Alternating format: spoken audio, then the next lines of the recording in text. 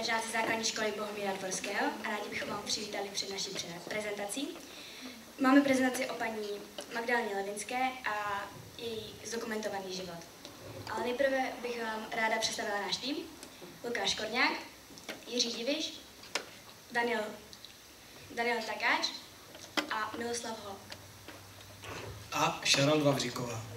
Jak už bylo zmíněno, dnes se podíváme na průřez života paní Magdalény Levinské.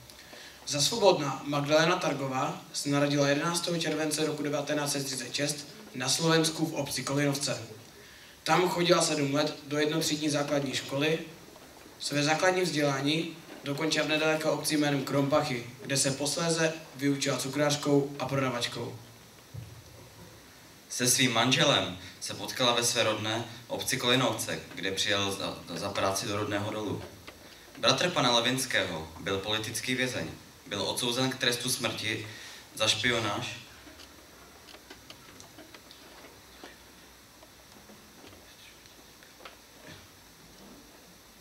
Pracoval jako zajatec v Jachimově, kde působil i pan Levinský. Zachránil ho ale prezidentská amnestie. Později se manželé Levinští přestěhovali do Ostravy, kde pan Levinský působil i se svou brigádou.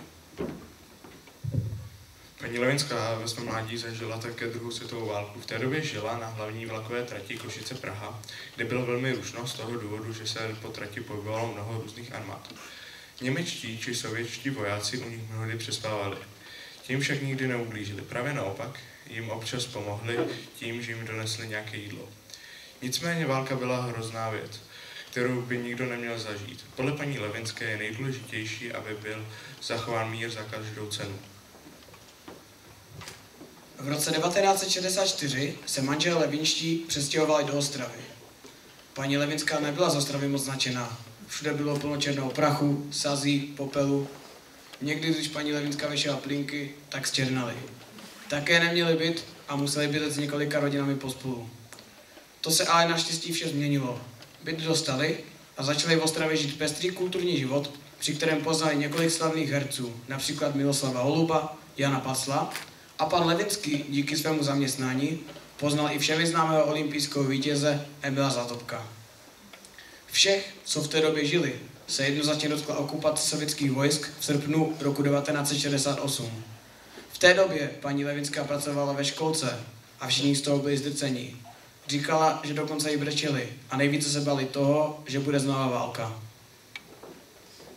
Život paní Levinské nebyl ani zdaleka jednoduchý, ale přes všechny strasti, které její život připravil, je ve stále skvělé formě a byla tak ochotná s námi připravit tento neobyčejný rozhovor, za což skvěle děkujeme a jsme rádi, a ještě jsme si na závěr pro vás připravili krátkou báseň. Za svůj život dlouhou historii zažila. Neznám místa, kde by nebyla. Na internet dá informace les kdo, ale tohle nemůže říct jen tak někdo. Světová válka, totalitní režim, o tom všem nám vyprávila hlasem svěžím. Děkujeme za pozornost.